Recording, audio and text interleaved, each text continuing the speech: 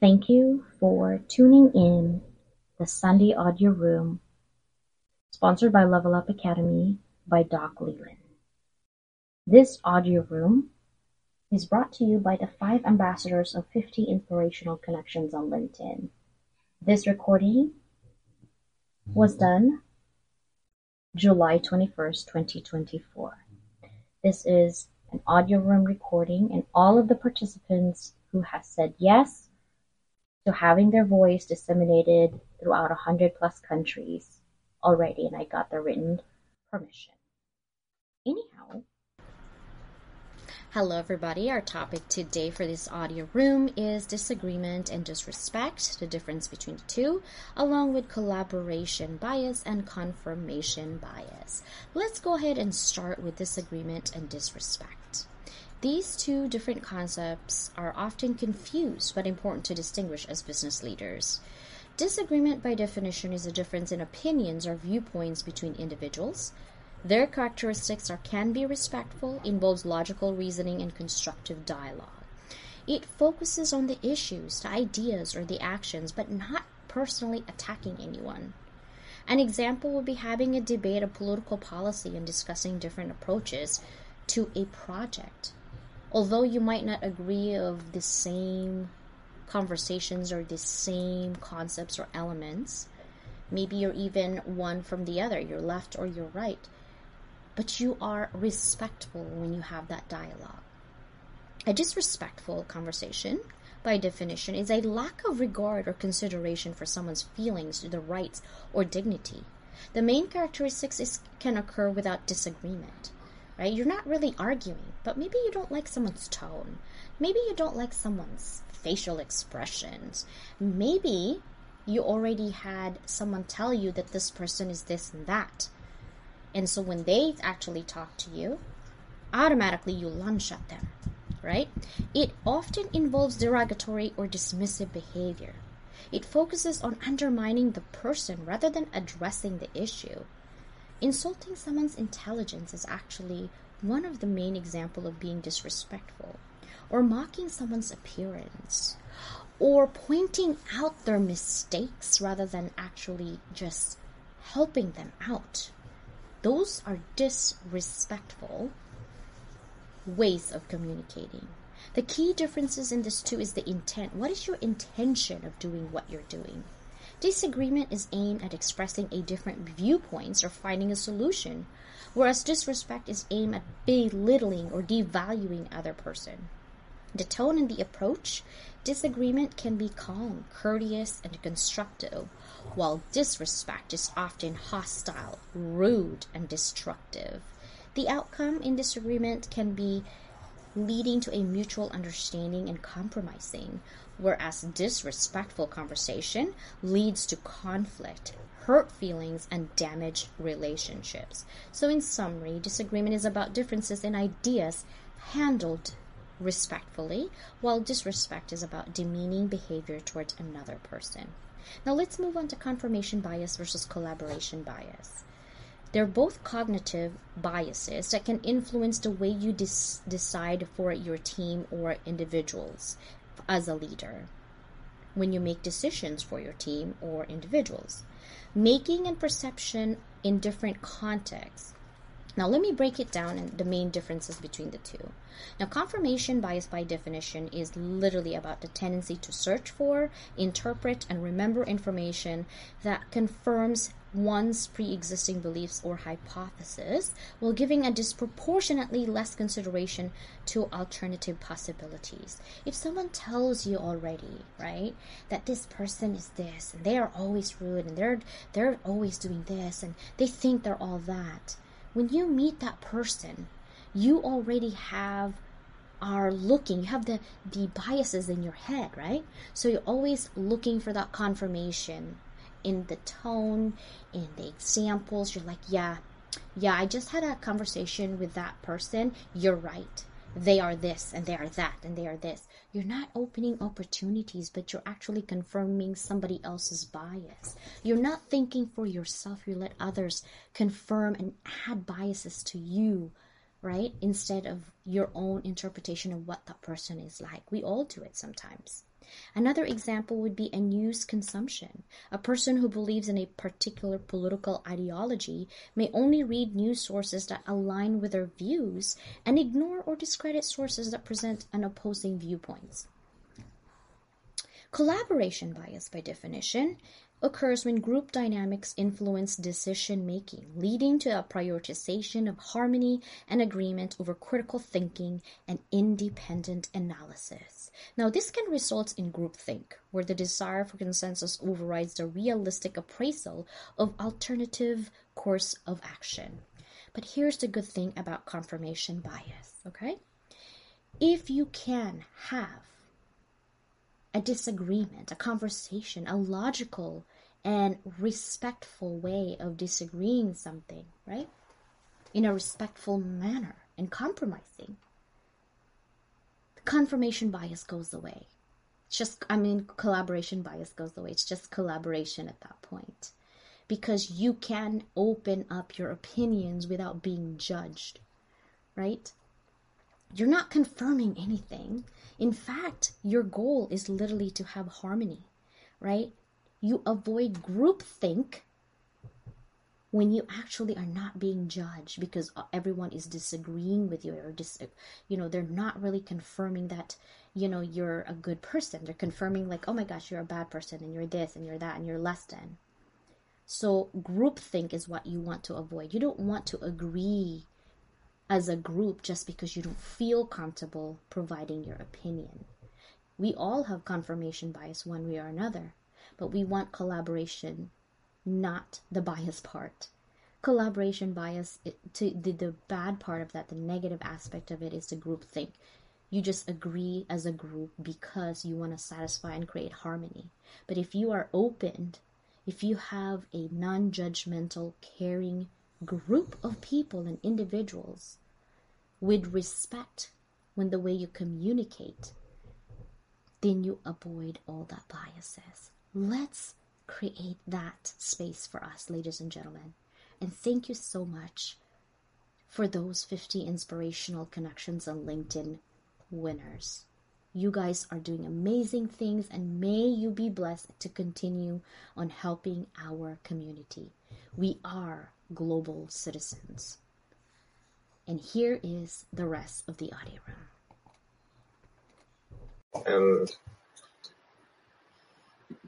I love that. You're right. You can't control anyone, so you you either take it or leave it. And I think that's another thing that I have always shared with my sisters and try to implement on myself is at the end of the day, you actually are less stressed when you don't control anything or anyone but yourself. And even then, sometimes it's hard to control our own emotions, right? Because we sometimes react to a lot of things. But when you come to that point in your life where you cannot react right away when you're angry, you have leveled up yourself. And I love that. Um, Sister Susannah, what are your thoughts between confirmation bias and collaboration bias or disrespect and disagreement? Well, I like what everybody's talked about so far because they, they really hit important points is I look at this and I kind of see the stuff that's going on in the world right now. I mean, I know we're talking leadership, which is across many levels. It just feels like there's a lot of disrespect right now, a lot of name calling. And having that we should be able to disagree because everybody is is different. That's part of part of how we were all created uniquely. There are going to be disagreements. The thing is, I think some people forget that experience, each person's experience in life is going to affect their knowledge, their understanding, all aspects about who they are.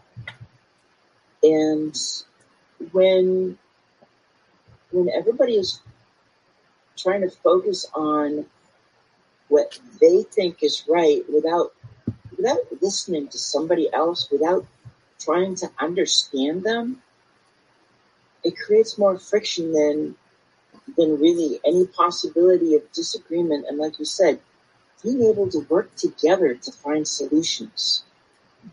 We need more solutions in this world, not not more thumping.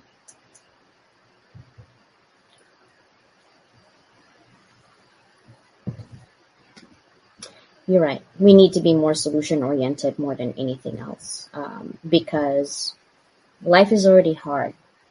Things are moving fast. People are pulling this and that, and we don't even know, right? Because we're so into our own cocoon. But this is our world. we are going to be affected no matter what. So I love what you said about making sure that instead of reacting, breathe for a moment and get an opportunity for the other person to speak up on why, right? Um, I think that most people, when they take it in, like you said, it's from their experience in the past, and the past trauma cannot be deleted in our um, experience. I wouldn't want to delete my past trauma.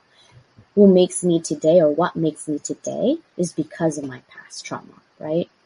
Um, so thank you for that. And Sister Kinga, I know Angelica was up here. So Angelica, when, if you come up, I already have you on the list. It's fine. After Kinga, I'll bring you up if you get your race uh, hands up. Okay.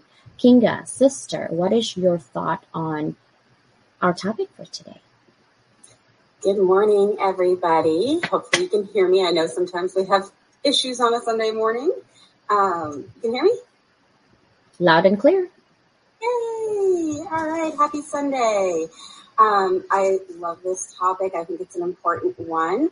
Um, when I am working on a common goal with someone, um, and I'm, I appreciate that you brought that up, if you have something that you're trying to accomplish together and that difference of opinion really matters, then obviously it's going to be important to work through that and to um, establish a place where you have that respect or feel comfortable walking away from that.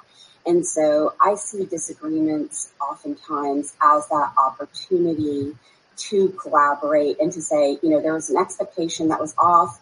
How can we from here forward either work through those missed expectations. And sometimes, you know, I have been in an environment where oftentimes the disagreements were around maybe a technical decision or somebody was very passionate around the direction of a priority. And so it was really around finding um, where maybe we needed to kind of go through a pros and cons kind of exercise. Um, and so when we focused on that common goal as a, as a team and we could make it not about the people like you were talking about, um, I think that when we shifted our mindset in that way, um, it really helped take the personal aspect out of it. And that is how we started to, as a team, um, think differently. There's a great book that is um, it was written, I think, a couple decades ago called The Challenger um, by Brent Adamson, and I, I think he addresses that really well. Um, so I, I, wanted to talk about that. And then um, I love that you brought up talking about collaboration bias also from the group think, because then also, you know, when a team is working together in this fashion, they do after a while start to kind of get into this bias where they're thinking similarly and we still want to be innovative and question one another. So I actually encourage some disagreement or for people to honor that individual um, critical thinking and let's ask, you know, question each other and do it in that respectful way. Uh, so that we can always be kind of pushing our boundaries, testing our limits, and, and continuing in our creative freedom, um, and and just working through. Um, that's how I think we we start developing some really awesome new solutions together. So. Thank you for that. That was my aim is, you know, when we think about everything the same, um, sometimes it's peer pressure because you don't want to speak up, especially if there's a hundred engineers in there and you're the only business person and you're trying to tell them, no, your budget of 20 million is not going to work because of this. So you kind of tend to agree, but you know it's going to fall apart, right? Because you've seen it before. And so that's when group thinking and peer pressure really kicks in. And that's when you don't want to have that confirmation bias. But thank you for that, sister. All right, sister Angelica, what comes up for you? Sorry. Uh, thanks for bringing me up, uh, Dr. Constance, and it's good to see everybody. Uh, I think it's so important when we uh, communicate to always be kind and think about how how the other person's going to feel with the things that we're going to say, uh, whether whether it's in conversation or in what we write, because the those are two different forms of communicating, right? And and so, you know, right now we're doing this 50 inspirational connections, and um, I'm thinking of ways to encourage our team with them to write their bios, some of them to write their bios and, and their and to post their photos in a kind and respectful way. so um, I'm I'm putting something together, and I'm going to talk with some with some of the team about uh, you know how can I help them so that they can uh, accomplish that goal because we all want to be able to be successful so if you have any ideas or if any anybody wants to to uh, ha- or suggestions, I'm I'm open. So over oh, back over to you. Thank you for letting speak. Thank you, sister. You're doing great. I watch you guys, right? I put all of your groups together and I've watched you. And I love the initiative. I think for me, when, when it comes to group, is we're so excited about what's going to happen and what are we doing and you know, what's next? You guys forget to establish rules of engagement at the very beginning, right? Part of being a leader and also, um, you know, trying to help everybody because we're all want to help everybody is you need to establish that rules of engagement at the very beginning, not in the middle of the situation. That way, when things go array and disagree, you go back to your rules of engagement. Hey, let's be respectful. Let's be flexible and let's talk what we can do next. Who has an idea for this, this, and this? I like your approach of um, being kind, right? It, it's really unnecessary, like what Annie said, to be rude to people, right? But sometimes, okay, let me tell you something. Um, when I texted one of the group, I think I came off wrong. I'll, I'll, be honest. If I read my own text, I'll be like, yeah, that came off wrong, CJ. And I did apologize. But that person literally, I think, took it to heart or maybe didn't listen to my apology. And I cannot control that. And most people would feel really bad that they are mad or upset. I did. But I apologize, right? But sometimes, honestly, apology might not be accepted for you because they feel disrespected and you're going to have to let that go because again, that person's feelings and trauma or whatever comes is their control. You cannot control other people. So for me, it's, I love Angelica's idea of being kind and being respectful. But I also want to talk about intentions, right? Because if you know that I got your back and if I make a mistake of communicating, then you know that it's not intentional for you to be hurt, right? It's probably me and my sick self because I had a fever and a, lot going on, right? So I think giving someone grace and really think about their intentions also make a difference. Um, who was next on my list? Oli, bro, what comes up for you? Well, hello, hello, Garden of Excellence and State of Shine Rising. So amazing to feel alive, to be in the nature in the forest. It's uh, late evening right now, and I'm really blessed to be here with you. And so I would like to talk about, uh, yeah, the difference between uh, disagreement and disrespect. And there was a quote that was uh, wrongly attributed to Voltaire, but it's from another person, and that says, "I might not agree to what you say, uh, but I defend to the death your right to say." I think the most important is also to focus on the action, the context, and not on the, on the person. That's why having uh, knowledge of uh, ways to say, okay, uh, it's about your reaction, your behavior, and not you.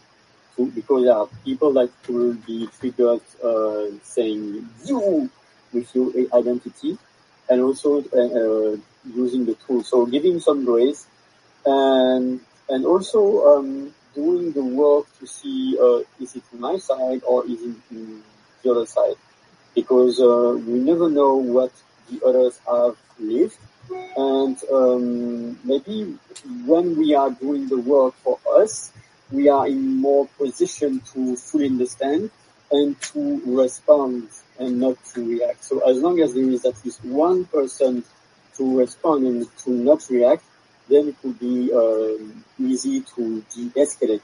But of course, it has be it takes two to the tango.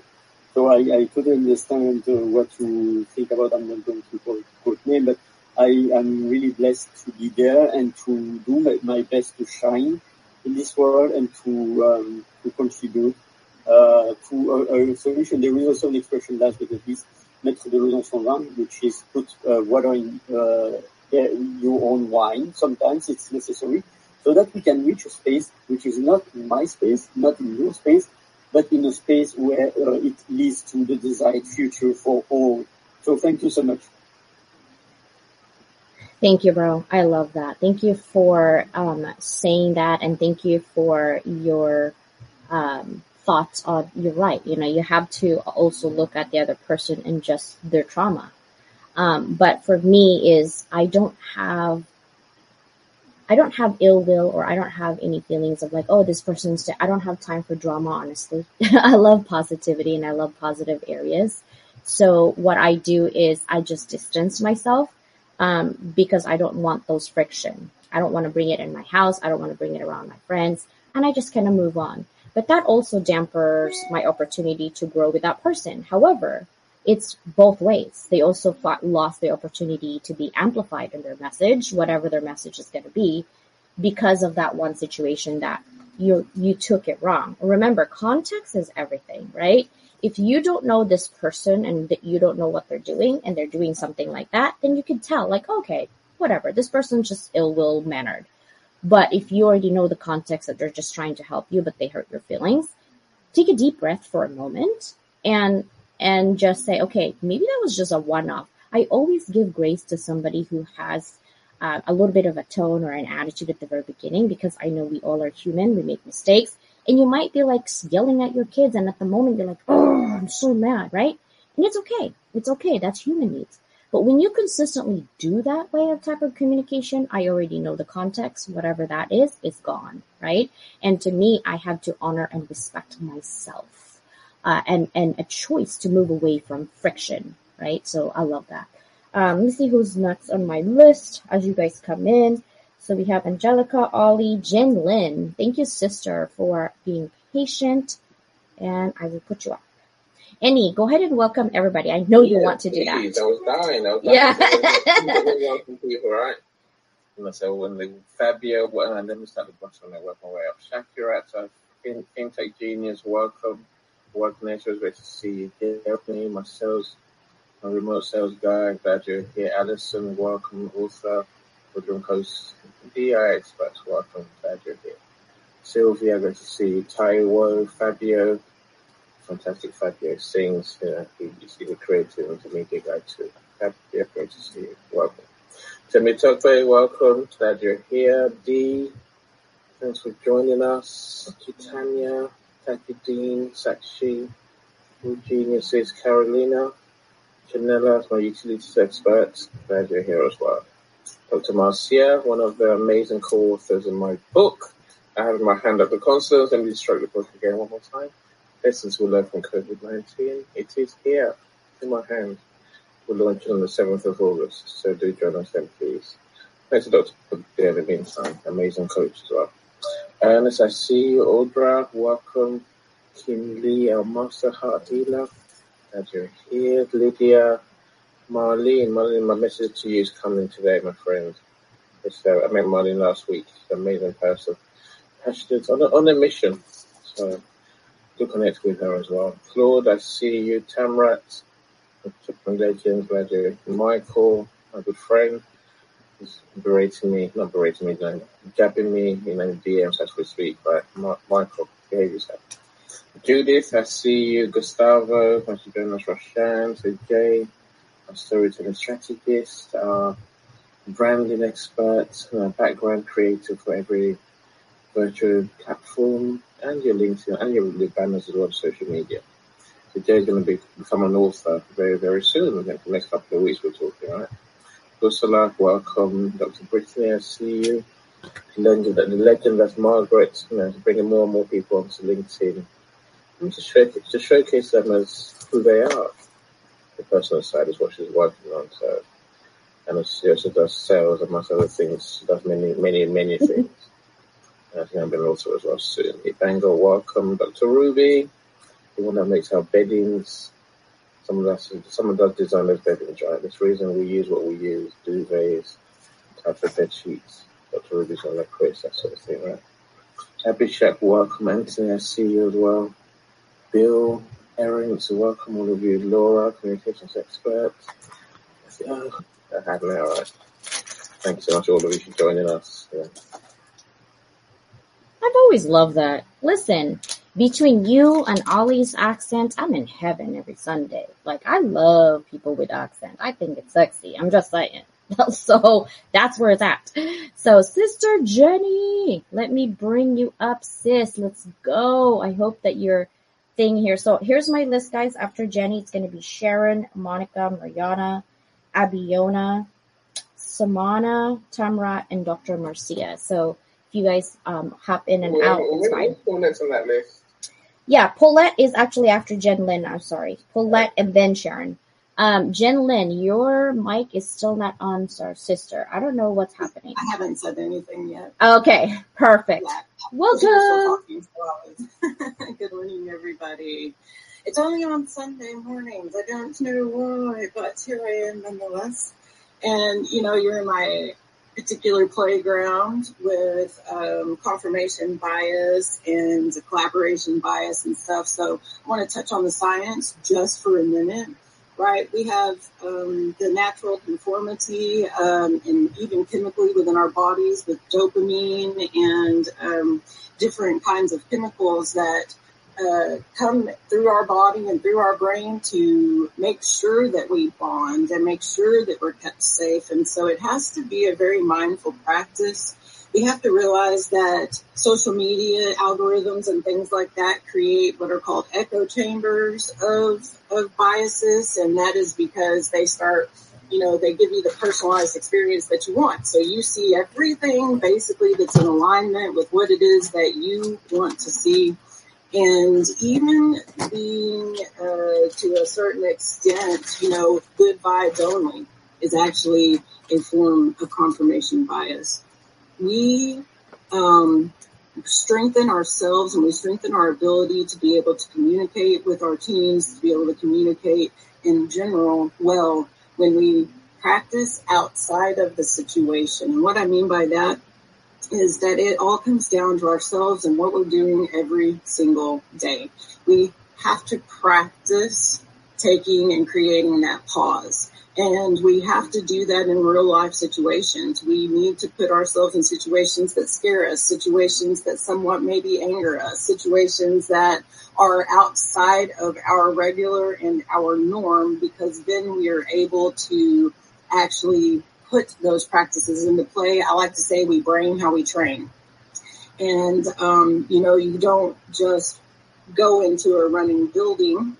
You have to practice going into a running building if it's something that you're doing for a career, if you're going to do it and do it well. So I see that across our, our lives that, um, you know, creating the pause, being able to take a breath, being able to listen, being able to understand and tap into empathy even in a hard situation are things that have to go beyond just theory and they have to be put into motion. So when we continuously put ourselves in rooms and places that make us uncomfortable, that's when we're really truly growing. That's when we're really truly shining in our ability to um, exercise um, those things. And so yeah, that's what I had to add this morning. Thank you. I love it, sister. I love that you went to the science with it because yes, dopamine and everything else that we bring to our body makes a big difference. Of course you did, because I muted myself. or my little finger did it. Sister, thank you for sharing that. And I love what you're saying in terms of the science with it.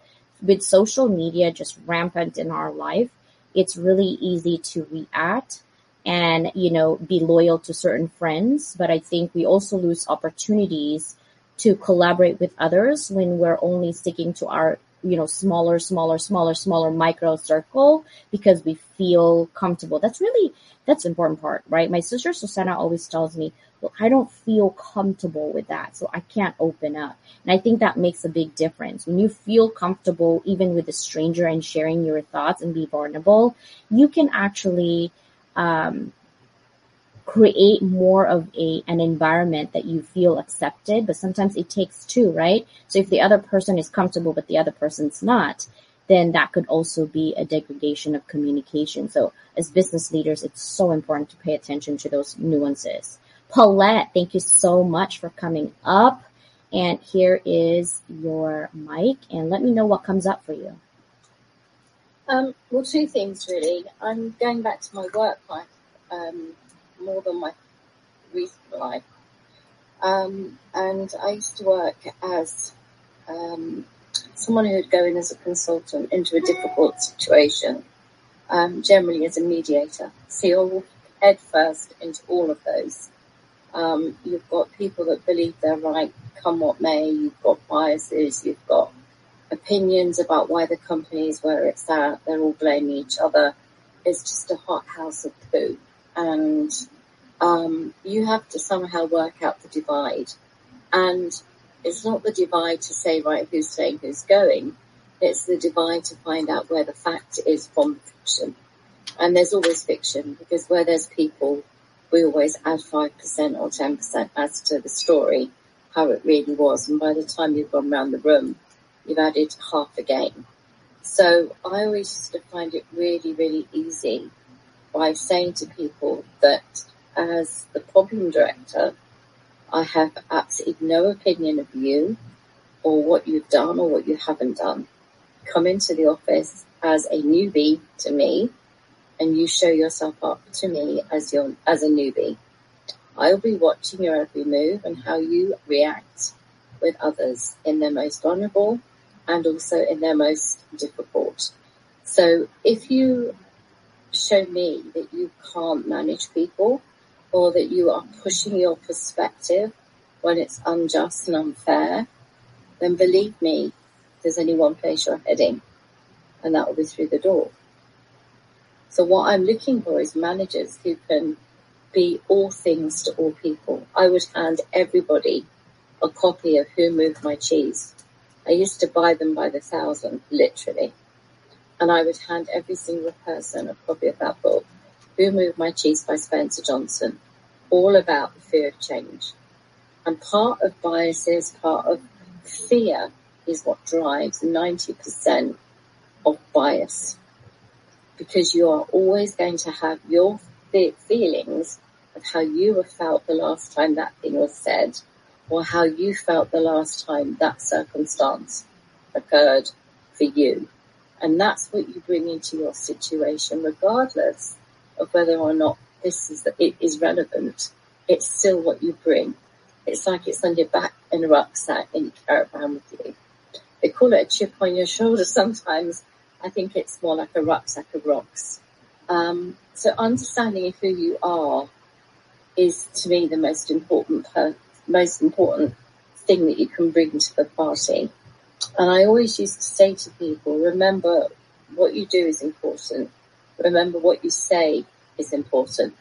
But remember how you made somebody feel is more important than anything else. And kindness is king. And then I would shut the door and walk out and leave them to all talk about me. but I found that by addressing it head on was my only, it's like a defense mechanism deal with it all in one go. Like, you know, go in there like a rocket, bang, here you go, this is what you're dealing with. And, and they were terrified. They thought they'd, you know, I've got the hatchet woman here. And they didn't know that I was a marshmallow. That was just the exterior. But that was who I had to present myself as. And then I would work my way through and gradually find that most of the people in the room were just frightened of something. They've all got their own fears, and you, know, biases is a great word.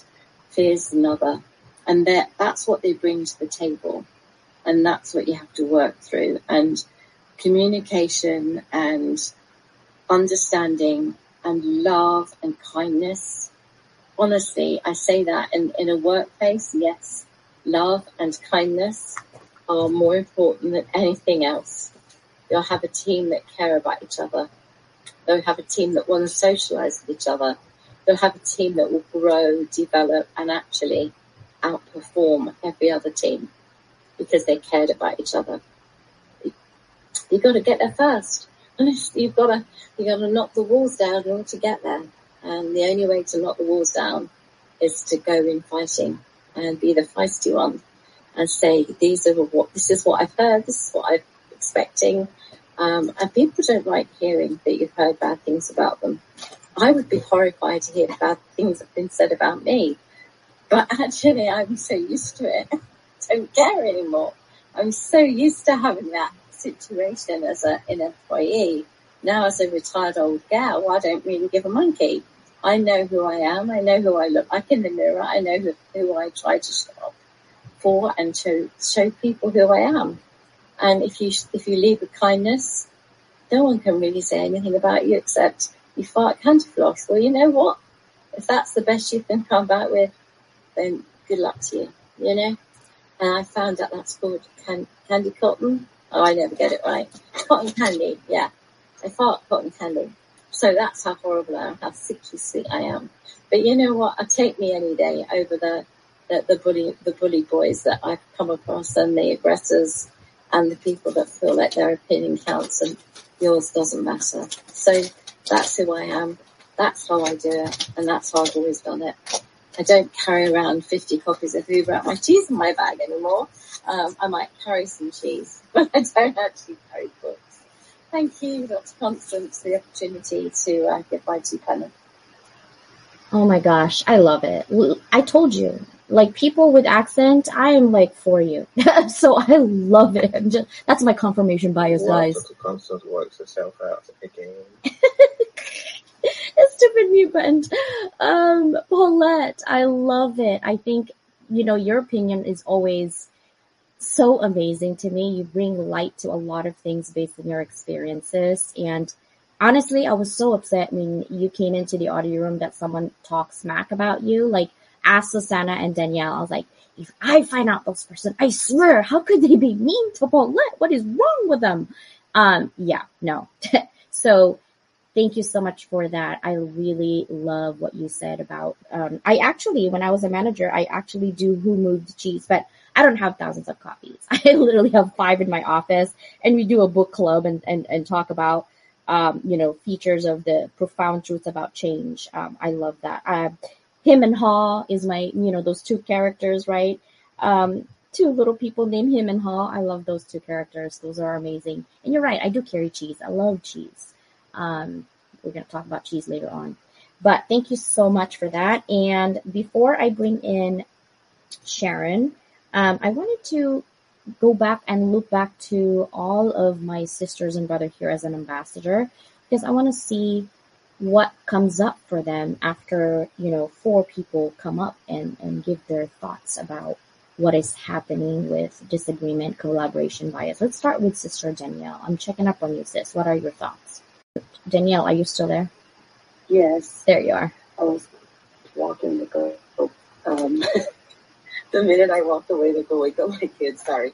Um, my thoughts are, you know, we have to, hearing what everybody was saying is we have to almost, when we have conflict, and even for myself being neurodiverse, you know, having, you know, the need to, or feeling the need to defend myself in some ways, um, learning to take a step back because we can't control others' opinions of ours, of us, of ourselves, um, and moving away from having to prove something.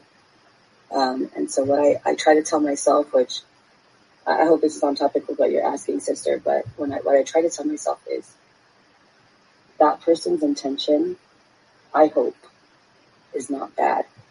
What is it that they're trying to communicate to me or give me feedback so that I can grow? Um, and so I think that's really important, especially in confirmation bias. You know, I talk again about um, how to combat it because even for myself, um, you know, having you know rejection, you know, having issues with rejection, which I'm not sure if anybody, you know, like tell me your secrets if you know, you know, how to deal with, with that or, or having ill feelings. But, um, you know, we, we have to do the work sometimes outside of ourselves. And even it's okay if we didn't react, you know, the way we wanted to, but acknowledging that and being able to move forward is, is a step in the, in, in a great direction. So um, that's where accountability and empathy, not only for the other person, but also for ourselves. Because we could always come back and say, you know what, I may have not handled that well. I would really like to have a conversation moving forward so that I can grow or that I can help clarify maybe where there was miscommunication. So, yeah, that's what I have to say for now, sister. Thank you for being patient with me. always, we're always patient with each other. Um, Annie, what are your thoughts? Let me work. Let me work on more people because the room just gets bigger and bigger. Um, I'm half in distress. I can't work on my missed people. And where's dentist gone? I saw dentist a minute. So I can't see dentist again. Oh, okay. So where, where am I? Kishore, welcome. Dr. Moo, great to see you. Willie J, you made it in the end. Thank goodness you're here. Cyrus, I see you too. Deborah, what, what in the world? Elkan, thank you so much for joining us. Esther Comfort, I see you, Michelle our housing and all the room teams that you are. Glad you're here. Good Malemo, welcome. Uh, Pinda. For joining us. Jeffrey, where have you been, Jeffrey? And I, I miss you, Jeffrey. I haven't seen you for a long time, my friend. Glad you're here. Roland, I see you as well. Kurat, welcome. Say Cheryl, welcome as well. Havana, welcome. Dr. Lisa, glad you're here. Dr. Lisa talks. I think it's, you know, it's Self-awareness and mindsets, that's what I call what Dr. Lucy talks about. I've seen your post anyway, my friend. Glad you're here. Tom, one of the best fitness and physical health gurus ever going to meet. Man, understated kind of guy, but literally the man is super talented and he specializes in practical, simple techniques to keep healthy and keep fit. You know, without exercising too much. Of course, I'm going to like that, right? Exercise too much. but Okay, what's the point of that? Say Christiana, long talk about baby lost, glad you're here. Say Michelle. I see my friend Brian. Working Genius. Thank you so much all for joining us. Look, I think, you know, if, if I, from what I've heard so far, which I think is probably hit the nail on the head, you know, our conversation today really comes down to intent. You know, what's your intent for saying what you're, what you're, what you're trying to communicate? I can put, let's put it very well in terms of you know, kindness has to be one way that we have to focus on rather than, you know, above all else, maybe. We disagree, and least if you say, you I disagree with your kindness, you know, it, it matters how you say it. I disagree with you. So I was in, I was talking to Lisa Houston the other day. And she's trying to teach me how to say I disagree. I disagree with her thing was simply to try, start start off with the line of, "I'm sorry you feel that way." I'm like, "I'm sorry, I'm not, I'm not sorry." Anyway, that's just a, that's one way I had to failing that line of saying I disagree with you. I think it's about being authentic and also having respect for yourself, maybe for and also for the for your for your person you're talking to, the other your and your other group members that even if you have that level of respect, you it's hard for anyone to take offense. Because I think I think deep down we you know we we, we should expect that not everyone's going to agree with us. I think we can accept it. You know, it often it's how it's said that we think upsets us. That's that, that's just my thoughts. Awesome. Thank you. You're right. It is all about intent, right? It's all about what your intentions are. But the problem is if you don't know how people work sometimes, and you, you get a message. I think sometimes people think, oh, what is her intention for saying that? She hurts my feelings. Again, for me, my rule of thumb is if you hurt my feelings once, I'm going to let it go. You're human. If you consistently do it the second, the third time, I'm going to let you go um, out of respect. And I don't like disagreement unless you really are getting in my face, and that's a different story. I won't back down, but I also won't start a problem. It's just not in my nature. Um, I would rather collaborate with you than have all of these issues, right? That's me. It's collaboration. Um, I know my sister Susannah has to go to church, so I do want to ask her thoughts on so far what you've heard. What are your thoughts, sister, and what comes up for you? Uh, I again, I can echo Danielle on any hit so many, so many key points in this. And the the joy of all of this actually is, especially when you got five of us on stage, five different opinions that cover so many different things.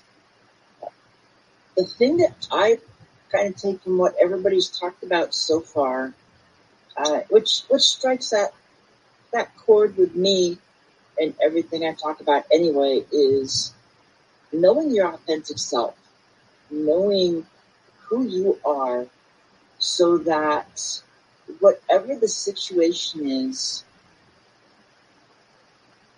you can put your best foot forward. Um, I think Paulette talked it. Uh, it's it's just when when you know when you know who you are at that core, then when you get into a disagreement, it's easier to deal with a disagreement. And hopefully you can see if, if you're dealing with somebody that's disrespectful, if you've got a disrespectful core, you're going to just go at them back and forth.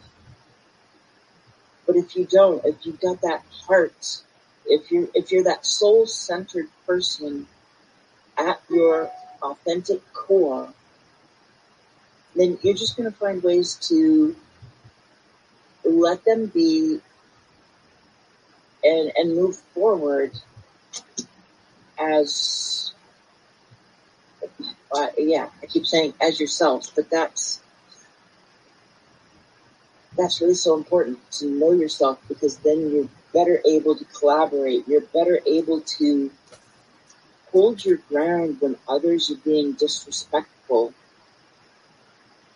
And this, this is something that the more we see our authentic selves, the more we, the more we can stand up and understand whatever bias we might have, but then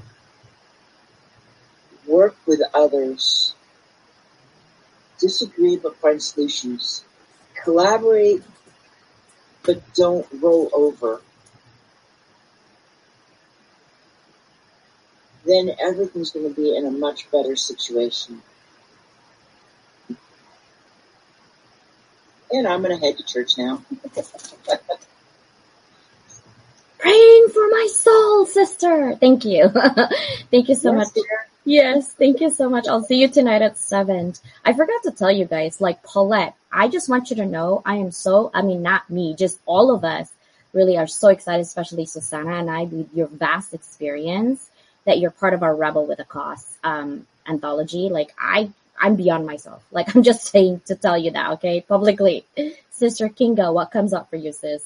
Um, so there's so many great points here, and I'm gonna speak a little bit more based off of my corporate background um, and from leading communities within corporations. So I think a lot of people here can also identify just from being community leaders yourselves.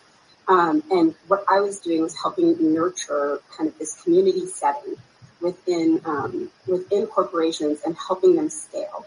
And what I would notice is that when I had teams that would build strong bonds, um, and it was awesome because they would go through that normal phase of, you know, um, they would kind of start the, what is it, the forming, storming kind of situation where first, you know, they're not necessarily agreeing on everything, but finally they'd start gelling and, and then they'd really kind of have that good groove going and they started to trust one another. And I thought this is this is innovative. They're getting stuff done, and they really have an awesome culture. What I noticed is that when new people come in, um, they sometimes felt a little isolated because they didn't know to acknowledge Paulette's point. I think um, people don't necessarily always know how they fit in, and so they're observing.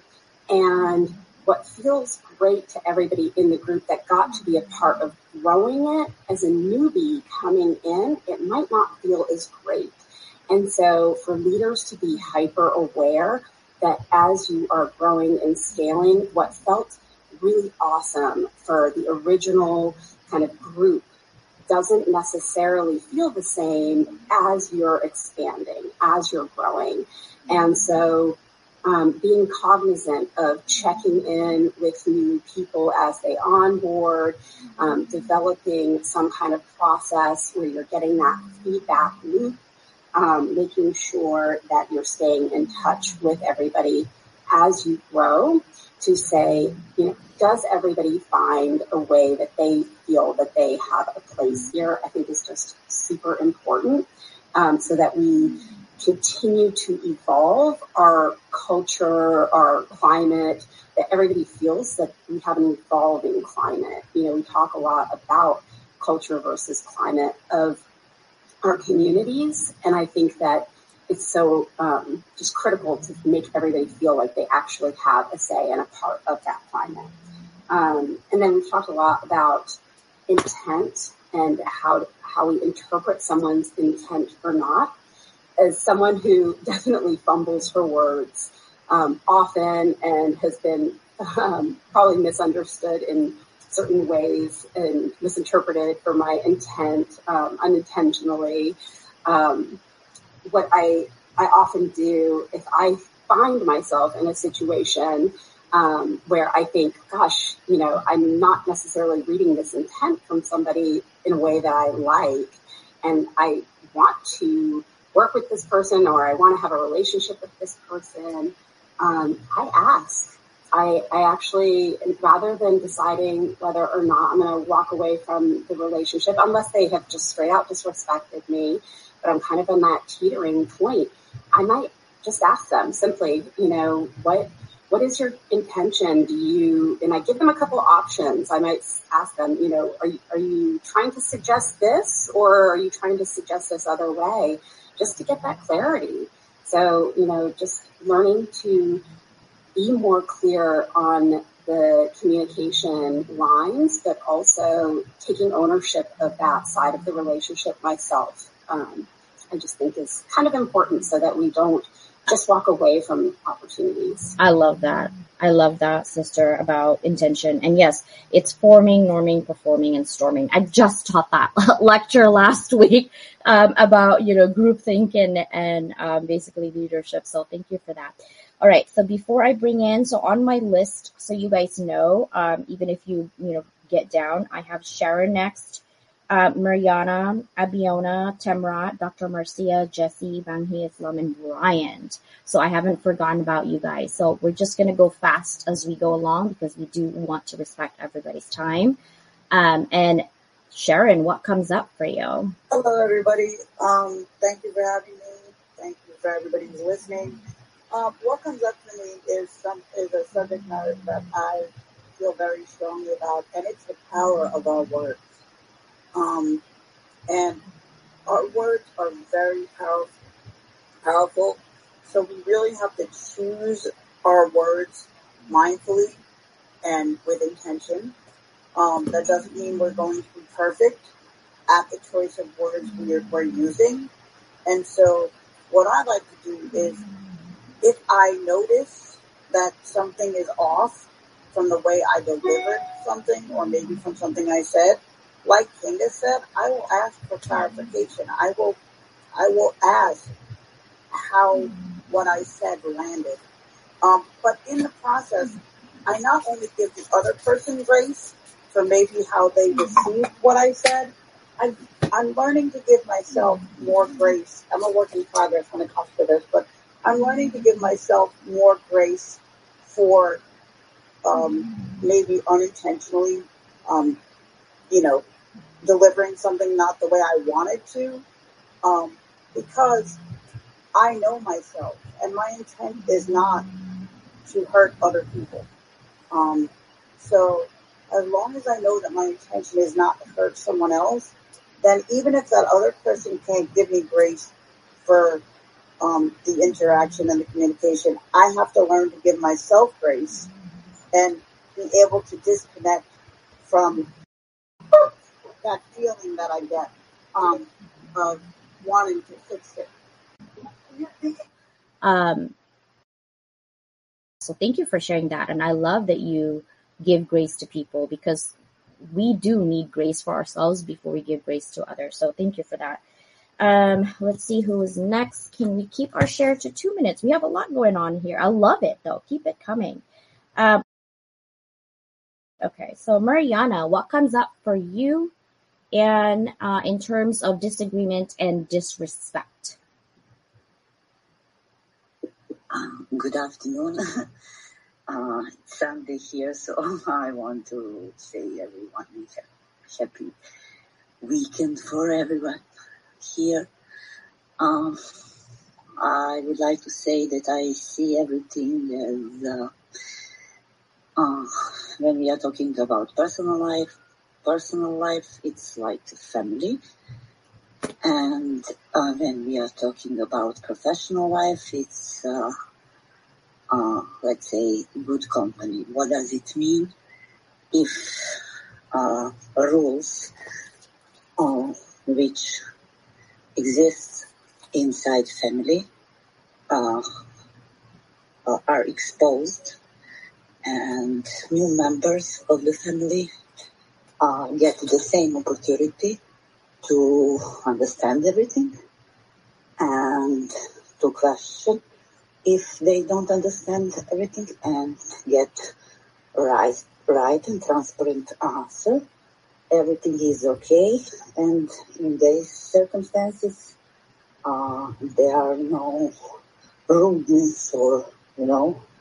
Uh, in some periods, you you act normally, polite, uh, with uh, giving everything a time, and in crisis uh, or some other priorities, uh, you act in a different way. So words and actions in parallel agreed create a situation when, where everybody are satisfied and uh, that is something that we all want in our private and professional life.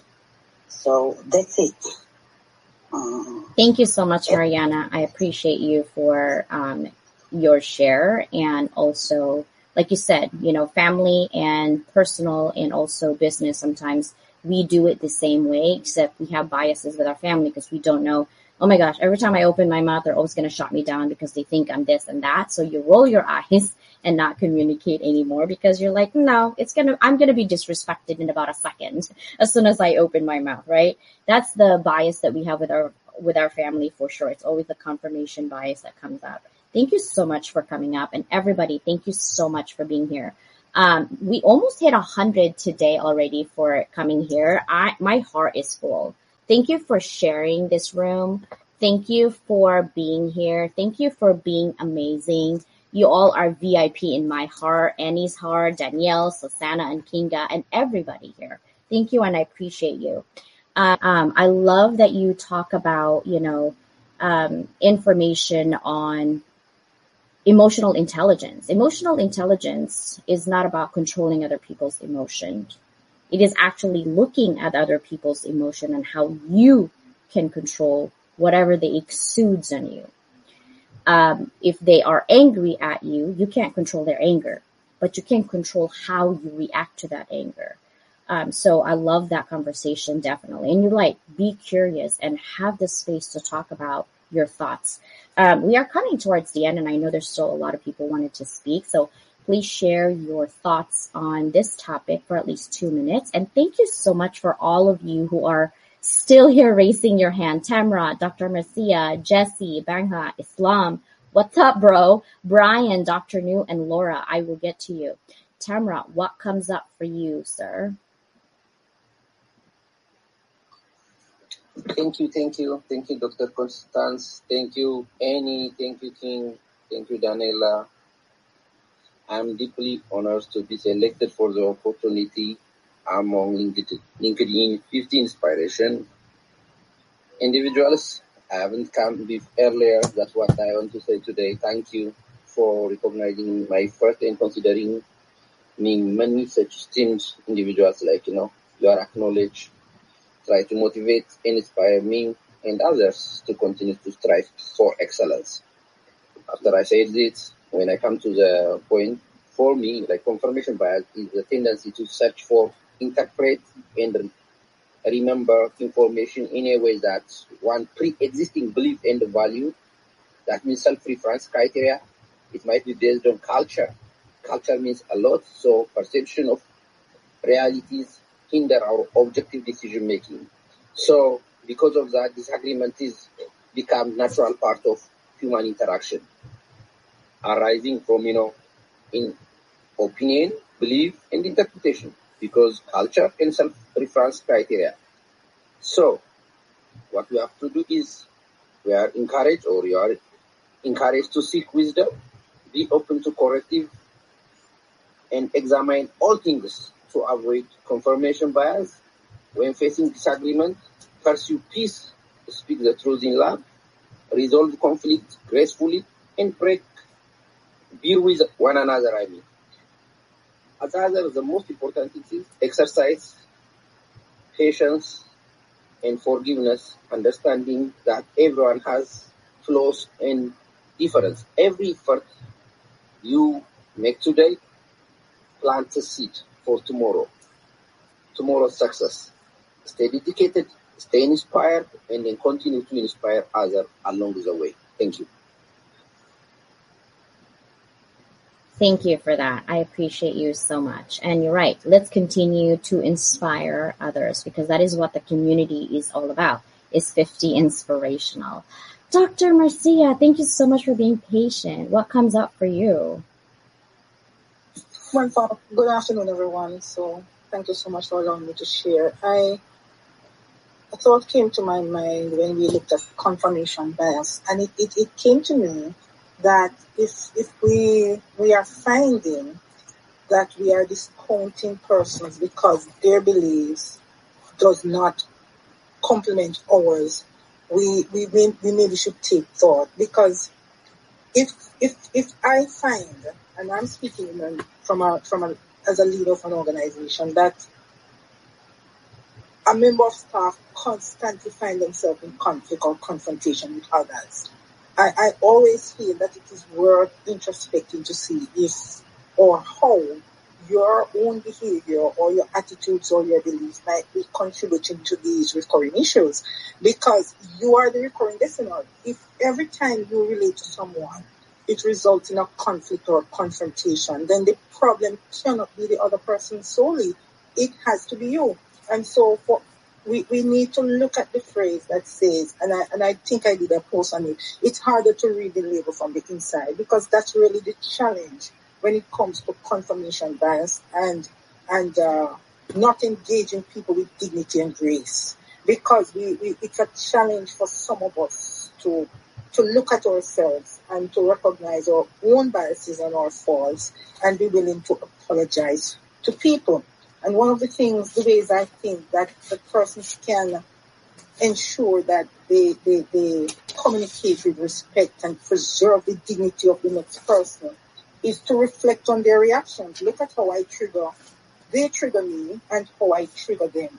I am with you, Dr. Constance, as it comes to confrontation, walking away. And I, and I, and I, and when I say walking away, I do not mean that we're not loving to confront and to deal with those issues because sometimes in the heat of the moment, persons are not prepared to allow logic to, to reign. It's really emotions. And so we must, we must try at times not to prioritize winning an argument. We must sometimes try to make it an amicable, mutual beneficial conversation by accepting each other's viewpoints and agreeing to disagree.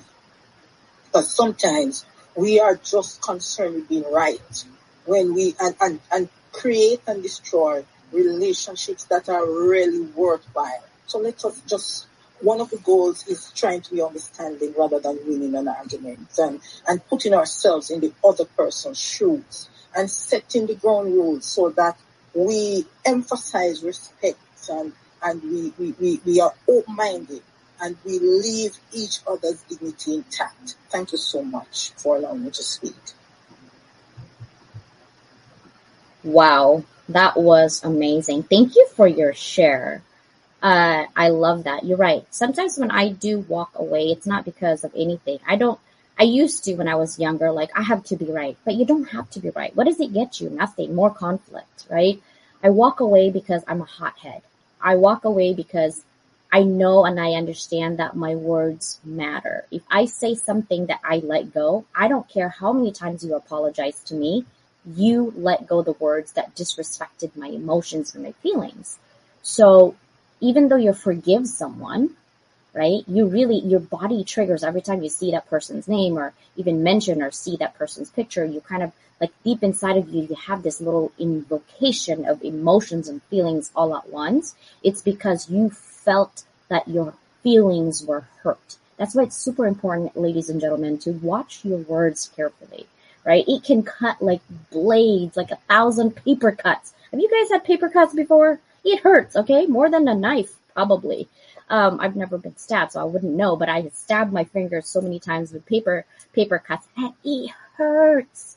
Okay. So words are like that. It's like a thousand paper cuts in your body when, when somebody that you value told you or demeaned you or disrespected you in so many ways. So thank you for that, Dr. Missy. I really appreciate you. You're right. Sometimes we're like, oh yeah, I have to be right. You don't have to be right, right? I think that is a really great way to open up yourself and just kind of walk away so you can breathe so you don't have any emotions or words that you let go that you might regret later. Jesse, what comes up for you? Hello, everybody. Good morning, good afternoon, good evening. I hope you're doing well in your family. Thank you for having me here, guys. I think, too, one thing is important for a leader. You should always lead with love, truth, peace, justice, and equality. Those are the essential components for a great leader. And you must always be willing to sacrifice your energy, your time, and your thought process in order to understand the people around you because you have to understand the individuals who have taken the time to follow you, who have taken the time to be with you, who are your individuality that becomes a collective mindset.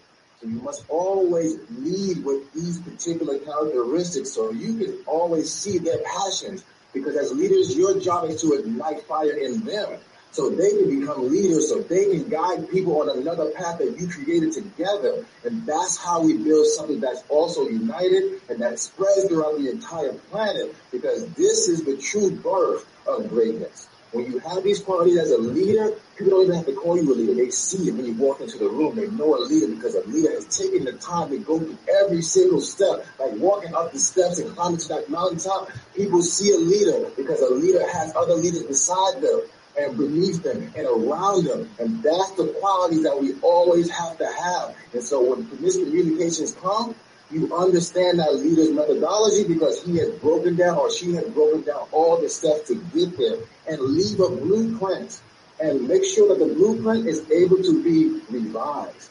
When we're leaders, we must always be able to listen to the things that are being delivered to us from other people, whether it be a, a low voice or a small voice. And if they're scared to talk in a large group, offer them time alone, one-on-one time. Take them to a place that they're comfortable with, as a bar, a sporting event, Give them a sense of pride. Give them your undivided attention because you're a leader. You took on the responsibility to grant everyone access to you. So you must let them see in your eyes as a man, as a woman, that they have your attention, they have your power, and they have true respect that you gave them, and they can speak for you. Because leaders want you to speak for them. Because as a leader, you should not always be speaking for yourself. You should give them the wisdom and the guidance to feel comfortable, to grow, to when they receive you. Like I said a second ago, that's a leader. And now you can walk away because you know the work is going to get done because you gave them will, you gave them purpose. And that's what's missing in the world. Leaders have to give purpose, value, consistent on consistent, you know, leadership, consistent love, consistent heart. These things must be driven into the soul of a person because when you activate a person's soul, it will stay with you forever. No matter where you go, it will always represent your qualities because you impart on them to heal them because you're healing them. You're healing them of their voices because a lot of times people don't know what leadership is. So they have to come to you. And so you're healing their voice so they can speak freely amongst anyone, anywhere, no matter the weather. And that's the thing I believe a leader really needs. And thank. I love that, Jesse. I love your energy.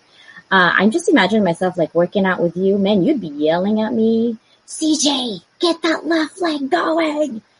That would be something. You would tell me, I'm like, no, Jesse, it's not happening, bro. Um, I love it. And I love that you talk about, you know, being a leader sometimes is not about you just talking about yourself. It's about other people talking about you. And I think the powerful part of our networking here is that you guys are amazing. You already know it. The people who come here every Sunday, you crave that positive vibe because you actually are learning something from everyone. It's called experiential learning. So thank you for that. Thank you so much.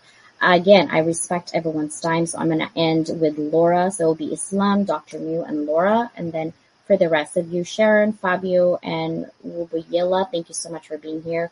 Please add your thoughts, your opinions, everything that I want to share on there. I just also want you guys to know that um, I did record this conversation, not from the very beginning. I think it started with Angelica for sure.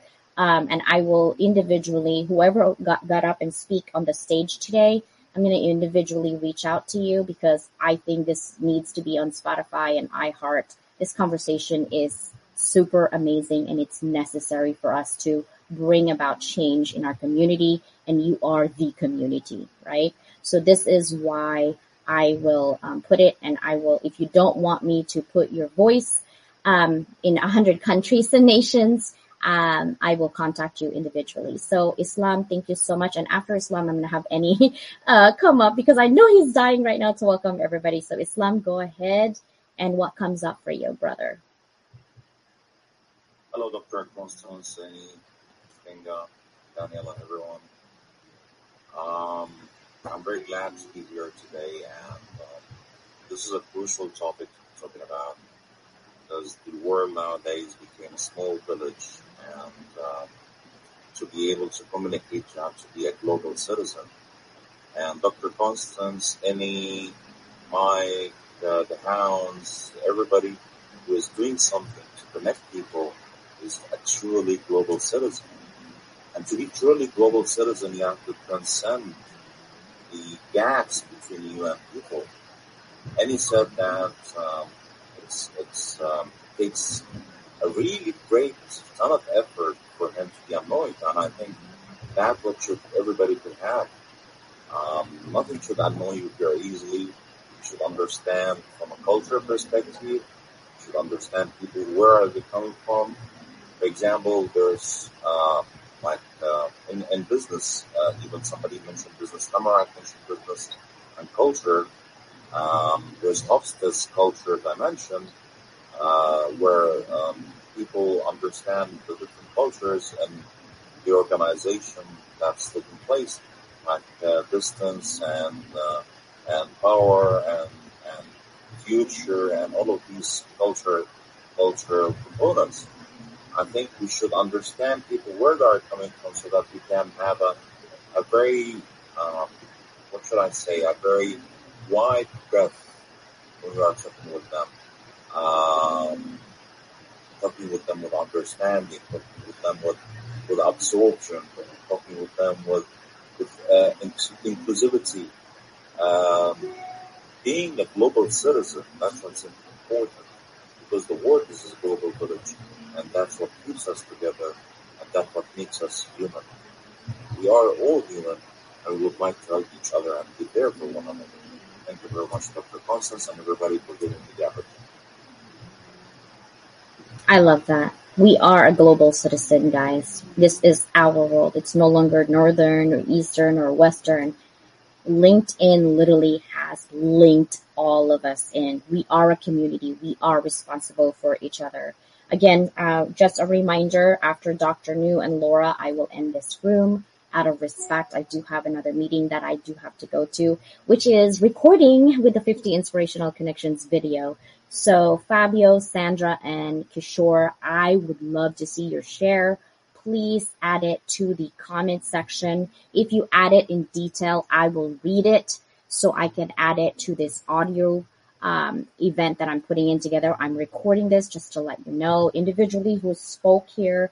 I will um, message you individually because I will put it on MP3 by tomorrow. So you can hear your voice, your opinions, your thoughts on Spotify. That's how I amplify your message. Um, any bro, I know you're dying. Go ahead before I bring in Dr. Nhu. Thank you. Thank you. I mean, the, the numbers have been amazing today. Thank you so much, all of you, for gracing us with your Sunday. We definitely appreciate it. Will come back again next week, of course. And do join my room later on. My book club, my book club activity, my book I of room series is on tonight. Yeah, yeah, that's all right. Yeah. Do join us. So welcome, Sheila. That's how you pronounce your name. I to pronounce another way. That's I think Sheila sounds right to me. My good friend Dentist. Thank you for anyone who made one of the chosen 50 as well, so welcome. What about you, like, food legend, and like a Jim family, and business around the world, you know, very educated man. I'm glad you're here, us your time. So, Claude, I see you. Jennifer, so I'm an IP expert these days. Kenny, I see you too, Kenny. Yeah, Kenny with cakes, biscuits, and God knows, delicious, scrumptious meals, eh, snacks that he's having. I thought I'd be in the. Yeah, Kevin, thank you so much for joining us over here. I can feel that energy, Any, Um, again, guys, we're going to talk to Dr. Nhu and Laura. And for the rest of you who have your hands raised, I respect your time, but I also want to make sure that I respect everybody's time. Again, thank you guys so much for being here. I will be reading. Okay. So if you are here and you raise your hands and you have a point that you want, please write them down on the comment section of this audio room. That way I can read your thoughts on the radio. I will be putting this on Spotify, iHeart, Deezer, Audible, you name it, Apple, Google Play, your thoughts today, right? And if you don't want your thoughts to be out there and amplified, let me know so I can delete it. Um, and then we'll go from there. Dr. Nhu, what comes up for you, sister? Um, I do want to hit this about five minutes. So if we could share two to three minutes for Dr. Nhu and Laura, I would love that. Thank you, Sister CJ, Danielle, Kingdom, Andy, and everyone that's listening. I see each and every one of you. My love and my heart is full also when listening to not only CJ and everyone here this is a beautiful topic. that I think a lot of everyone already spoken about. But one other thing I'd like to add is that when we communicate with respect and collaborations, what does it feel like and what is it to the other person, the other organizations? And it's really sometimes having a moment to really, not only when we treat one another with respect and kindness. Like if we envision, visualize the other person, the other party is our family, our most cherished, loved family. It come up to them that doesn't align, that alignment is not on the same at wavelength, then how do we get to react and act upon it? And that is something that we all can improve, and that's something coming from a previously, you know, I, even our own family, I would also get triggered, activated, because we expect them to also, they have to love us, right? They have to support us. They have to, that all of that should and have. But when we let go and we let go of the expectation of others and just let them be. And that's why mindfulness for me is that when we let them be and just observe them without judgment and, and having that judgment judgmental thoughts of this is what this is. But it's the only thing that we can change in our world is how we act, how we get to choose to act. And when we come from a place of love and kindness and empathy and really putting your shoe, you know, your place in other shoes, but also taking a further step is that everyone is different. Everyone walks life is different. So even though they are trigger, even though you have reflection, there may be you did say something, even though this is where we have to go further, not only grace to give others. And then I see Dr. Marcia mentioned is that we have to have reflection is did we really communicate with our words and our energy? We come in, did we pursue that really that inclusivity for everyone? Or did we really say from our perspective in that little moment that others took offensive, but we say, well, I didn't do it. But that's also coming from our own reflection about ego, standing up and saying, I didn't do it. Thank you, sister, for that. I, I truly, I love, listen, guys, um, Dr. Nhu is one of those sisters that even if someone was trying to hurt her, she loves them back anyway, right? I want to inject a little bit of that with her, and I learned from her to let go with things you can't control. I have, listen, it's easy to give advice, but taking your own advice, it's like swallowing a huge rock in my throat, right? But it's necessary for growth. And as leaders in this world, right, we have our kids watching us. We have the future leaders and business leaders and CEOs and conglomerate owners watching us and how we behave ourselves as an adult. It is super important the way we communicate with each other and show grace and empathy. Laura, I'm going to end this with you and then uh, what comes up for you, dear sister? What an honor to end. I'm overwhelmed by the talent and the fantastic quality of the colleagues that are here. So thank you for allowing me to come up and I'm very much humbled to be in such good company. I'll be brief, which is not, not my strong point, but I will. I want to commend the comments, the commenters, Dr. Marcia especially, uh, and uh, Dr. Nhu. We're talking about conflict and how to navigate disrespect. And here's the three points.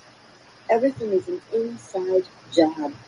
We hear this so much on LinkedIn that it may just uh, seem cliche, but honestly, your ability to respond is your superpower. And as Dr. Marcia says, sometimes you know, or rather she implied, that sometimes we can uh, win the battle but lose the war. Yes? And so it is very important to take a step back not react immediately, but instead listen to what the, the quote unquote gripe is about. Examine where the conflict is and start with you first. Because communication starts with you. And we don't know what we do not know. I would make assumptions as a new ESL educator that I look back on and say, "Oh, that was pretty stupid. Why did I think that, say that, feel that? And it's because at that time, many years ago, more than 15 years ago, I didn't know my students. I didn't know my communities that I've worked in as well as I do now. And why was that? Because I was making assumptions without listening. So I just want to say that true leadership starts with you.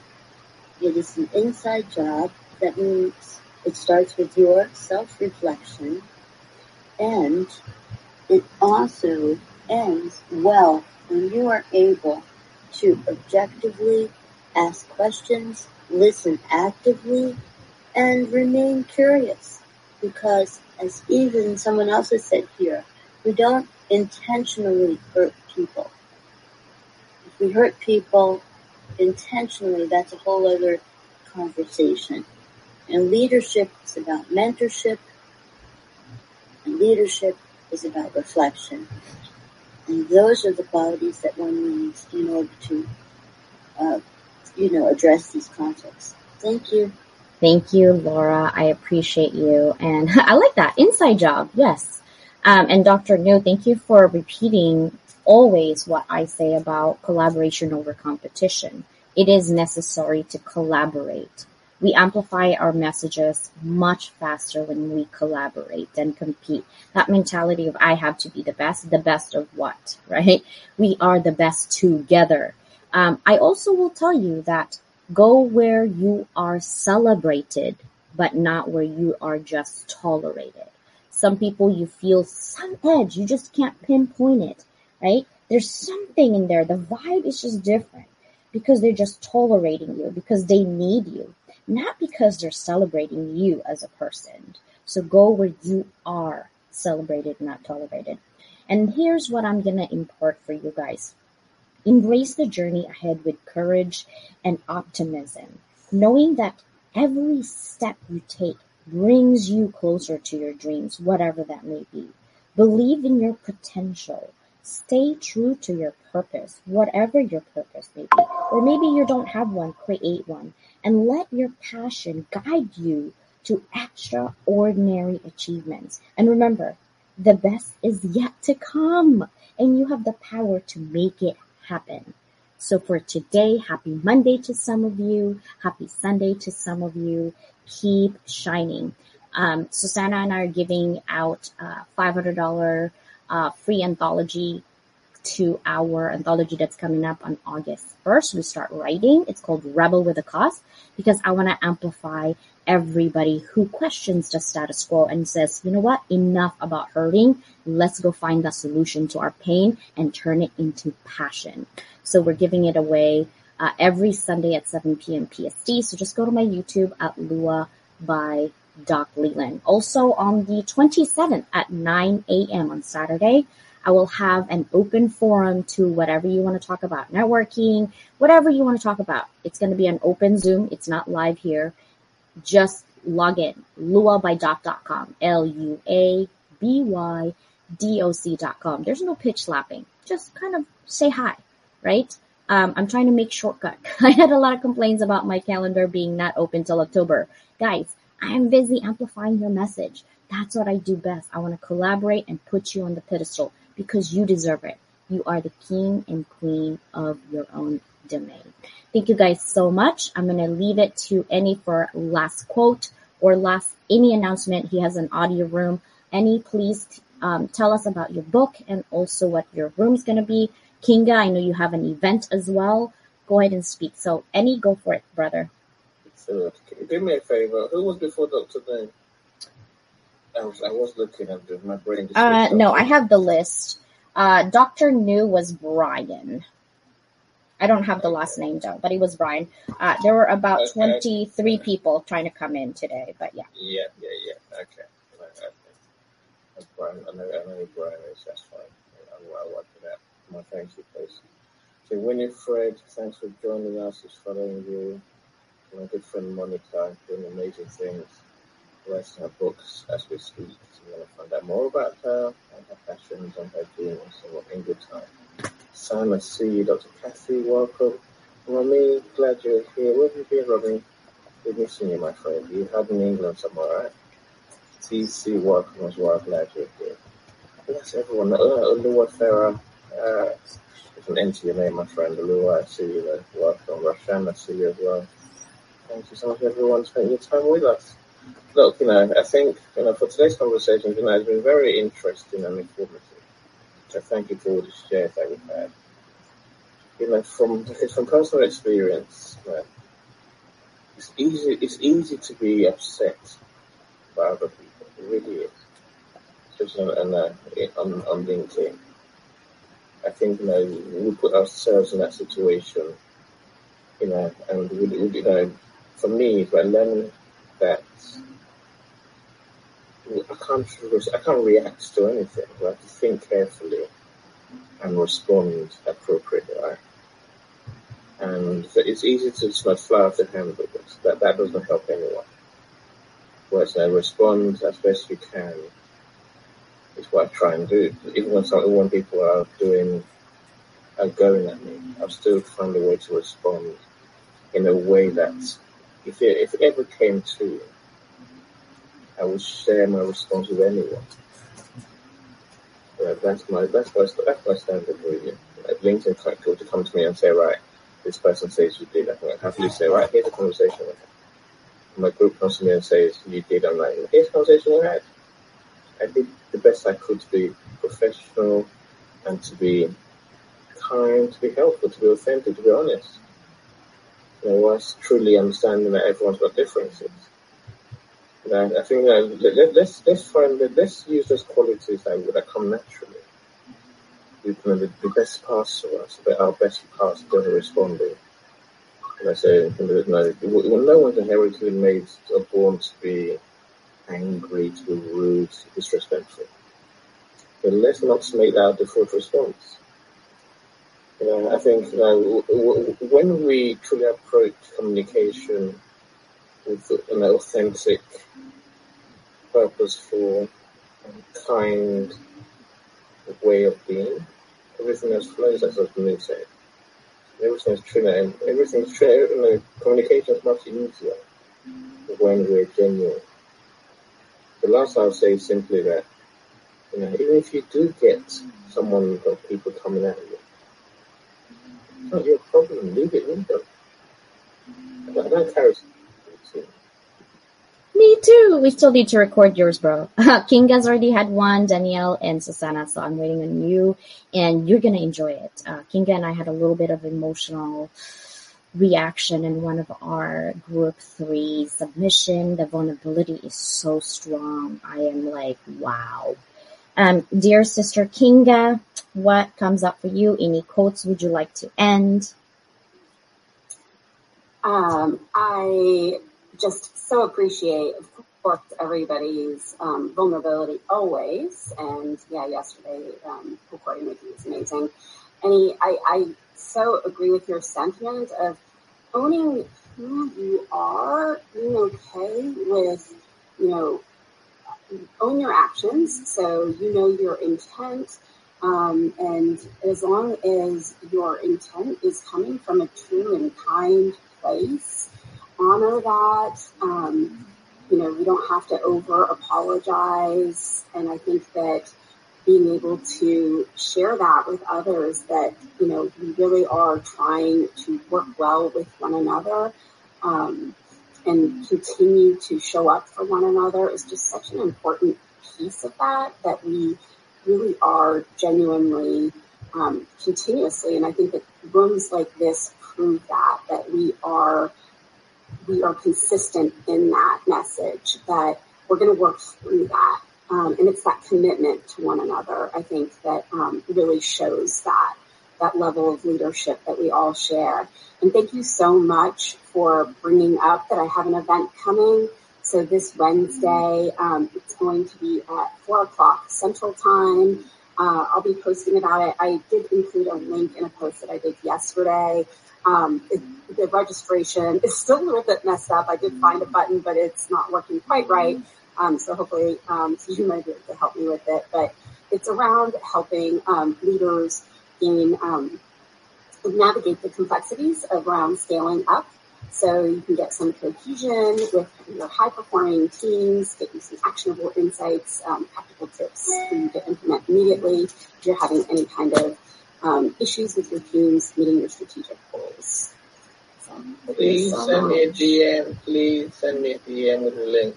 Absolutely. Love it. Um, Lewis, I want to bring you up, how, and unfortunately we are at the end. I just want to remind everybody who wants to share their thoughts and amplify your message to the world, please put it on the comments. I'm going to give you guys until about I have to edit it. So I say 3 p.m. So 9, 10, 11, 12, 1, 2, 3, six hours. In six hours, I, whatever that's posted on the comment section is going to be read. Uh, if you're okay with it, go ahead and tell me, yes, you can read this. on your message, I will read it and put it on the podcast tomorrow. I will send the link to our podcast in this audio room on the business page of LinkedIn because I believe your thoughts, your opinion, your experiences matters to me and to the world. As a global citizen, it's my job to use my platform to amplify your message, especially we're trying to create a group of people who cares about each other and the way we communicate with each other is super important. Sister Danielle, what comes up for you in terms of quotes to end this room today? Thank you, um, Dr. CJ, sister. Um, my thoughts are remember that diverging thoughts are opportunities to gain better understanding and an opportunity for collaboration. Um, and echoing what um, I hear as today from, from a lot of leaders was that kindness is free. And no matter if it's a personal or a professional relationship, we can always give that. So thank you all. Love you all. Sending you all um, with love on this beautiful Sunday. Thank you, dear sister. Um, okay, so let's go ahead and end this room. But before I end, I'm going to give you guys a statement. Disagreement is a natural part of dialogue and growth, guys. But disrespect crosses a line that undermines trust and mutual understanding. Let's embrace our differences with respect, fostering a culture where diverse opinions are valued and every voice is heard. I love you guys. Please come back next Sunday. We have great discussions. Thank you for your love, for your patience, and for the share. All right. Remember, if you want me to share your stuff, just put it in the comment section. Bye, everybody. We're going to end it in five. Bye, Four. everyone. Come to my room in three hours, right? Yep. Three, what, three and a half hours. Three, I'm gonna see if I it. Bye. Bye, everyone. Bye, everyone. One.